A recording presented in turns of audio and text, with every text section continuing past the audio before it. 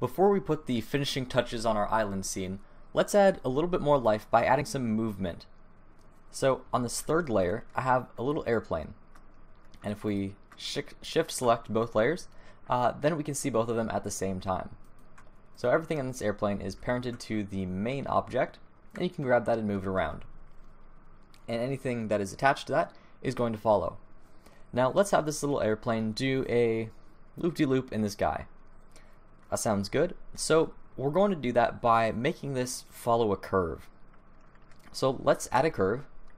Shift A, add, uh, and I'm just going to make this a path. Seems natural. This plane is going to follow a path. So then I'm going to go maybe 3 in the side view. So I can rotate this on the z-axis 90 degrees. I'm going to move this kind of far away from the island, making sure we can still see it. Maybe off to the right. Let's put it over the water right over there.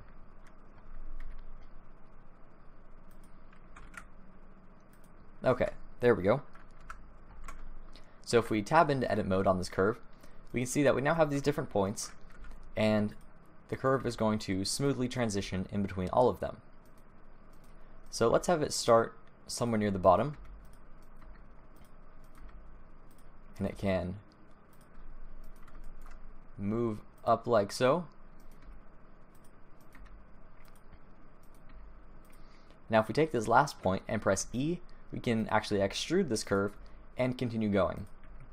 So here we have it kind of coming into a loop-de-loop -loop and coming out. Now let's look at this in 3D view to make sure it makes sense. Maybe it banks into it a little bit. Alright, so now we have our little loop-de-loop -loop, and we can see it from the side right there. Maybe I'm going to rotate it just a little bit. And I'm going to move this farther away, uh, just so that in case there's any shadows or anything, we don't want a small plane casting a, a shadow that makes it obvious that it's actually not as big as the real world object would be. So in order to do that, we need to move it a little bit farther away and make sure that it's actually in view. However, we can't see it from the viewport, so let's select the camera, and over in the camera options, we can change this end clipping and just pull that all the way back until we can adequately see our nice little curve right there. And we can move this to be wherever that we'd like. Okay, so now we need this airplane to follow this curve. So let's just select our airplane here.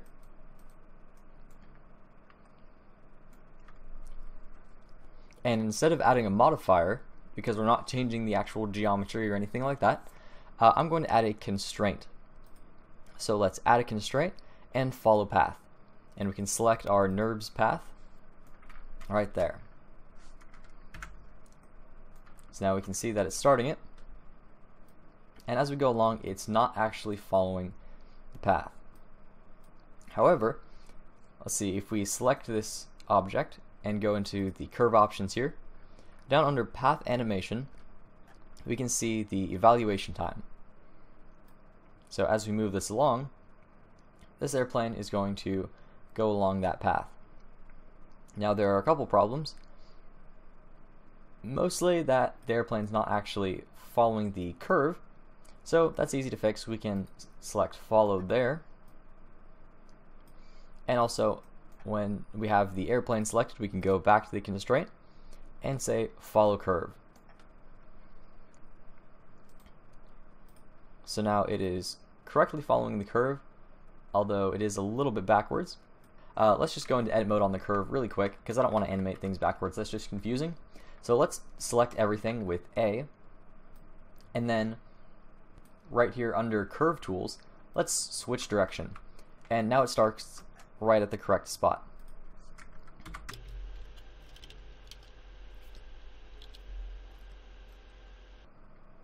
Now the airplane is pointing in the wrong direction. We don't want it to be pointing that way, we want it to be the opposite. So right now it's facing the y direction, so let's just flip that to be the negative y direction, and now everything is all good. So let's go back and keyframe that evaluation time. Right in the curve properties here under path animation. Uh, on frame 1, let's just give this a value of 1 and press I, and that's going to insert a keyframe right on that value. And let's go to frame 100, or it could be pretty much any frame that you want. It doesn't have to match. And you can see that's going to match right at the end right there, and I can press I to insert another keyframe. And now the plane is going to animate right in between the two.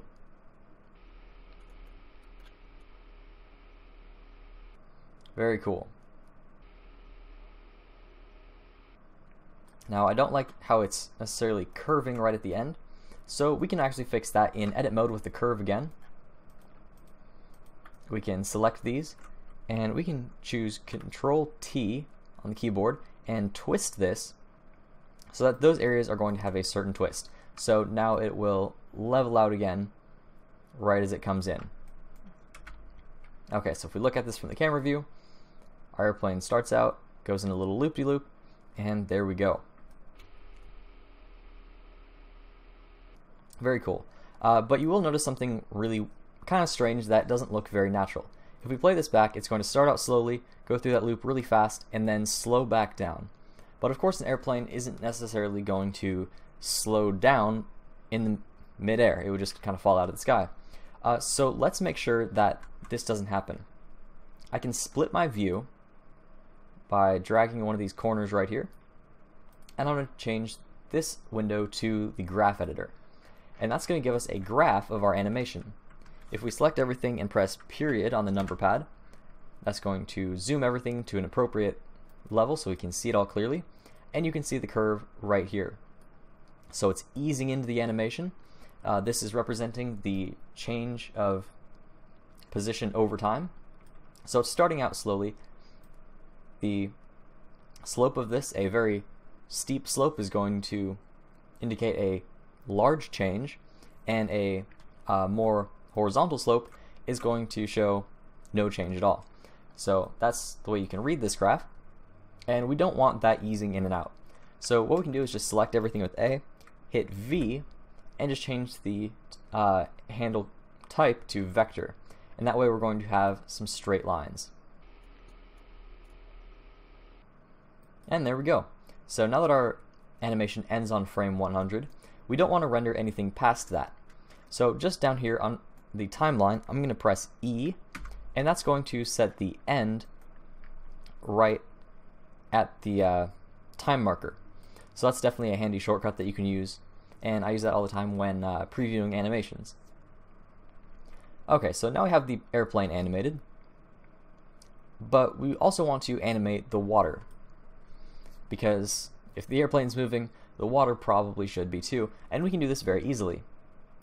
So in the modifier, let me just go back to frame 1, we have a time right here, and that can be animated just like uh, the curve position could be animated earlier.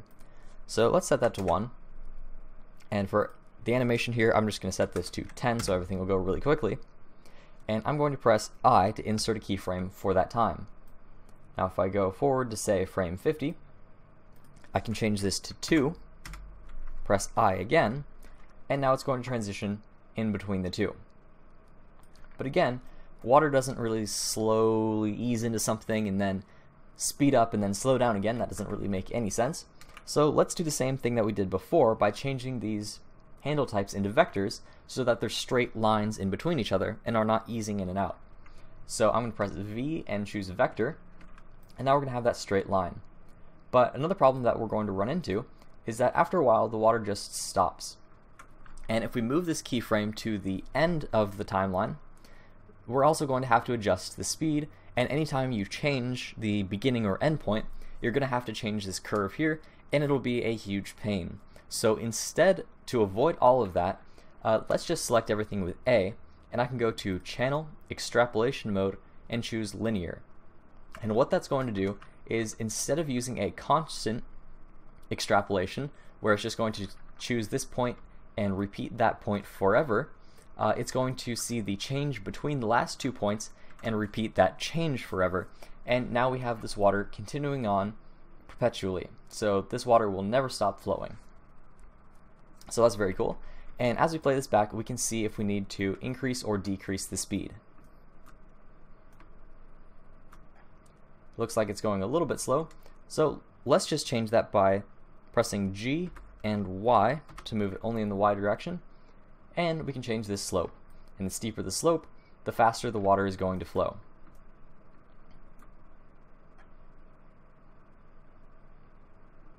Alright, looking good. So let me just really quickly do that to the other two, and then we'll be ready to go.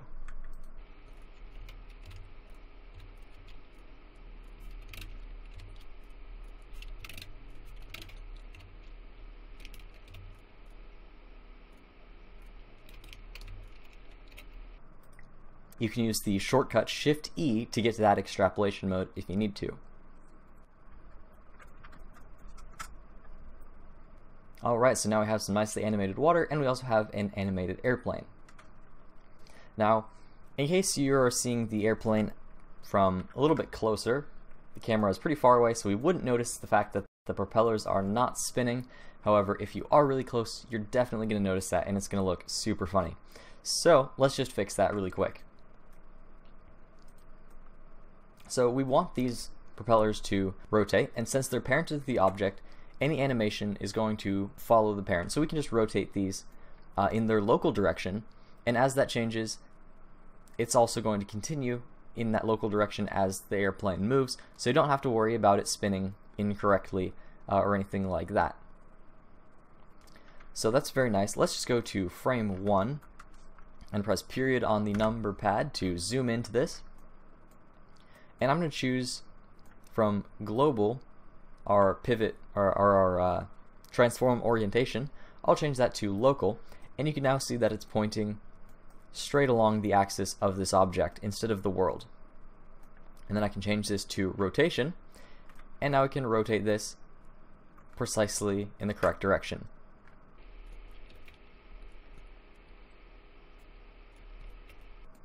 So let's just select all of these right here. and I can press I to insert a keyframe for rotation. That way we're not adding unnecessary keyframes, so we're just adding rotation. Let's go to frame 20. Well, let's go to frame 10. Now what's cool is I can set this pivot point to individual origins. And now when I rotate this on the local x-axis, say about, let's go about 45 degrees. And now I can press I, insert keyframe for rotation, and you can see we now have that rotation right there. Now again, we want this to be a straight rotation, so let's press select everything, hit V, and choose vector. And again, we're going to press Shift E and use linear extrapolation. And now these propellers are going to rotate forever. Uh, so now if we take a look as we play this back, I'm going to hide the island so we're not distracted by it. As we play this back, we now have the airplane moving and the propellers are spinning. Very cool. But uh, they are spinning a little bit slow. So I can just take these two keyframes and scale them on the x-axis. That's going to make the slope even more steep. As we play this back, it's a little bit hard to see, but we now have those propellers spinning. And the steeper that slope is, the faster those are going to uh, spin. And so you can change that to your liking. So that's it for animation. In this video, we've animated the airplane along a curve, doing a little loopy-loop. -loop. We've animated the water to flow continually and never stop, and we've also animated the propellers to rotate over and over and over again. So in the last, in the next video, uh, which will be the final video. We'll do some touch-up work and also do our final rendering and composite.